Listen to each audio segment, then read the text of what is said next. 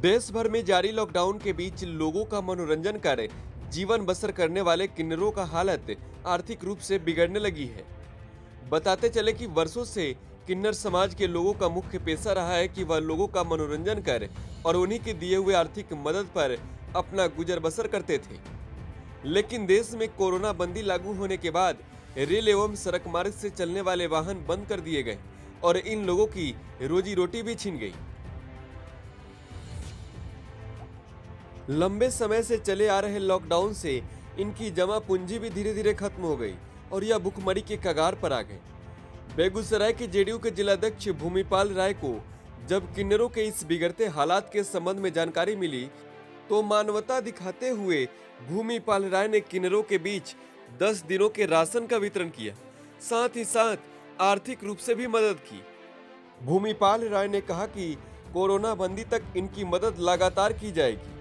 मदद मिलने के बाद किन्नर समाज के लोगों ने कोरोना संबंधित गीत गाकर लोगों का मनोरंजन भी किया, तथा भारत के प्रधानमंत्री नरेंद्र मोदी एवं बिहार के मुख्यमंत्री नीतीश कुमार के द्वारा कोरोना वायरस से लड़ने के लिए चलाई जा रही मुहिम की बुरी बुरी प्रशंसा की।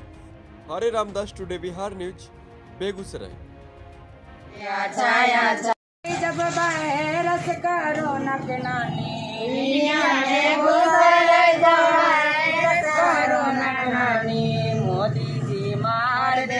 देलन छक्का के अच्छा अच्छा जब वायरस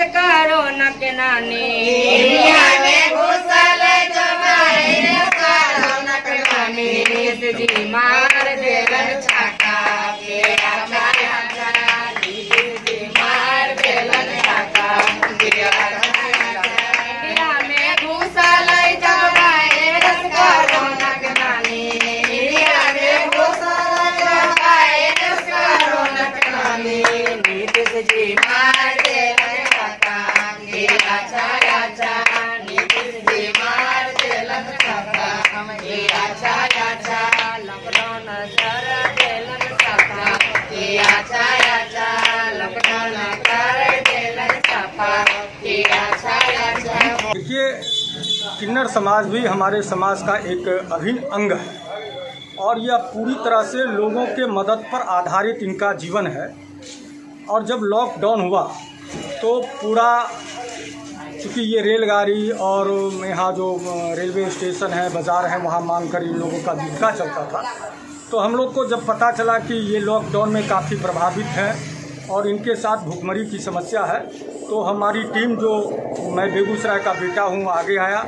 हमने उस दिन इन लोगों के बीच पका हुआ भोजन भी पहुँचाया उस समय एक एक सौ रुपया भी दिया गया और आज इनको हम लोगों ने 10 दिनों का राशन मुहैया कराने का काम किया है ताकि लॉकडाउन अवधि तक हम इनका आ, हमारी टीम ख्याल रखेगी। और लॉकडाउन के बाद जब सब कुछ खुल जाएगा तो समान रूप से यह भी समान लोगों के तरह अपना जीवन